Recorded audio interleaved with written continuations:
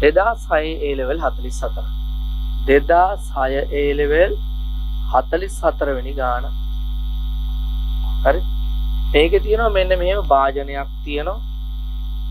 මොන බලන්න. ඉන්න ලේසි. හොඳේ පාස් පේපර්ස් ගණන් ඉය මෙන්න වෙනම ලේසි. මේ මේක ගණත්වය රෝ 1 වන ද්‍රව්‍යයකින් හදලා තියෙනවා. ඊළඟ මේක ගණත්වය රෝ 2 වන ද්‍රව්‍යයකින් හදලා තියෙනවා. හරිද? ඊට පස්සේ මේක ගණත්වය රෝ 3 වන ද්‍රව්‍යයකින් තමයි හදලා තියෙන්නේ. ගණත්වය රෝ 3 වන ද්‍රව්‍යයකින් හදලා තියෙනවා හරිද?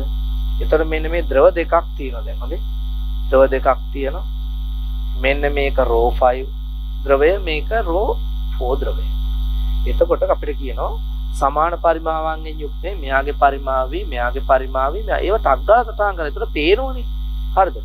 එතකොට මේ ගැට ගහලා තියෙනවලු. හරිද රූපය දක්වා ඇති පරිදි එකිනෙකේ ගණත්වයන් රෝ 4 සහ රෝ 5 වූ මිශ්‍රණ වන ද්‍රව දෙකක් අඩංගු භාජනයක් තුළ මෙව පද්ධතිය පාවෙන අතර. තන්තු ඇදී පවතී කියන්නේ තන්තු වලට ආතතියක් තියෙනවලු. තන්තු ඇදී පවතී කියන්නේ තන්තු වලට ආතතියක් තියෙනවා කියන එක.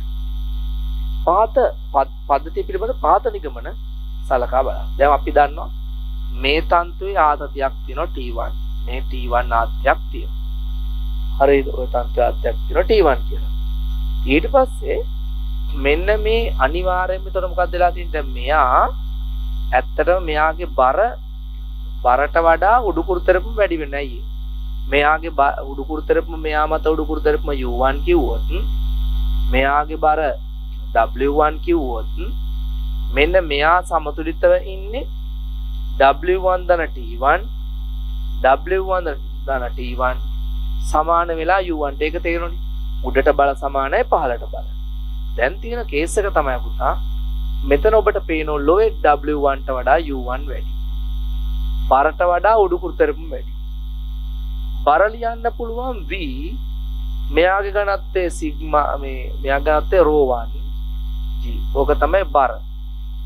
පරිමාවරක් ගණත්තේ ස්කන්ධය ගුරුත්වත්වයෙන් වැඩි කරාම බර. එතන U1 U1 කියන්නේ මෙයාගේ පරිමාව V ද්‍රවය ගණත්තේ රෝ 4 ගුරුත්වතර විස්ථාපිත පරිමා තරලය ගණත්තේ ගුරුත්වතර උඩු කුරුතර Gට G කැපුණා Vට V කැපුණා. රෝ 1ට වඩා රෝ 4 වැඩි. එහෙම එකක් තියෙනවා එහෙම නැහැ. හරි. ඊට පස්සේ අපිට කියනවා රෝ 3 සහ රෝ 1 සංසන්දනය. රෝ 3 කියන්නේ මෙයාගේ ගණත්තය දැන් මෙයාගේ ගණත්තය ගැන කතා කරන්න කියොත් මෙතන තන්තු ඇදිලා තියෙන නිසා මෙතන තන්තු යාත්‍ය T2 කියලා ගන්නවා. මෙන්න මෙයාගේ බර මෙයාගේ බර W 3 ගණත්තේ මෙයාගේ රෝ 3 උඩුකුරු තරපම U3 කියලා ගත්තා. උඩුකුරු තරපම U3 එතන මම මෙහෙම කියන මේ මෙයාගේ මත විතරක් තියෙන බල තමයි බරයි උඩුකුරු තරපමයි තන්තු යාත්‍රි බලයයි. එතර T2 තමයි උඩට තියෙන U3 උඩට.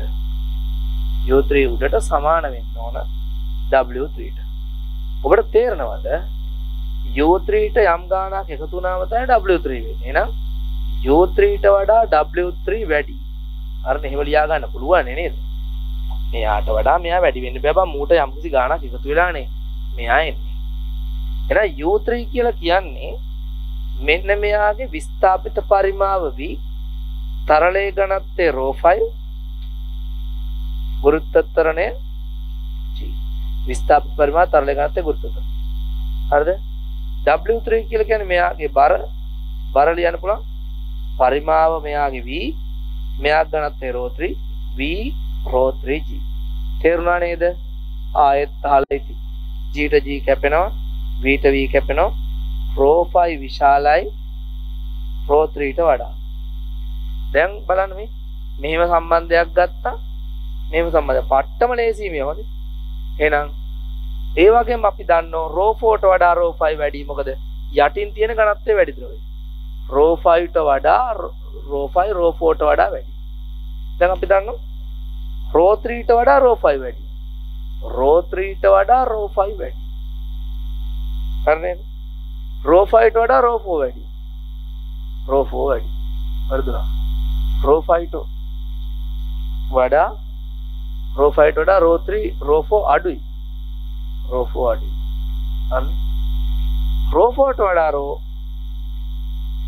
1 රෝ 4 වඩා රෝ 1 අඩුයි.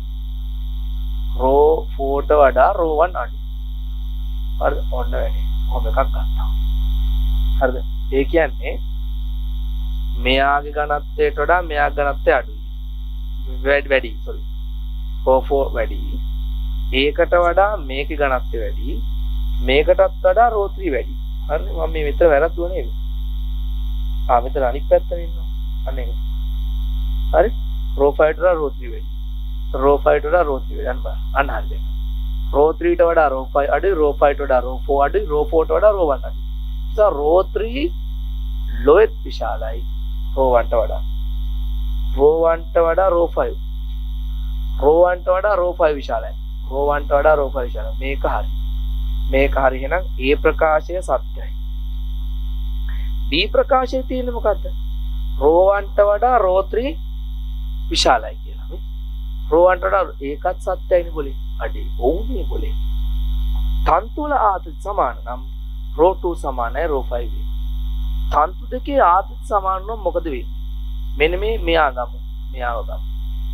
මෙයාගේ සම්ප්‍රයුක්තය සැලකුවාම උඩට තියෙනවා T1 යටට තියෙනවා T2 ඒ වගේම බර තියෙන උඩුකුරු තරප තියෙනවා.